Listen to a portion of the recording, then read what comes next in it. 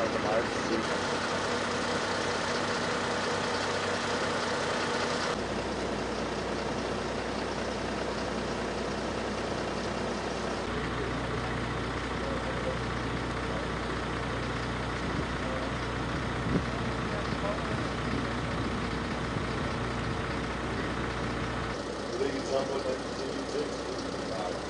Right, I know. I know you do that.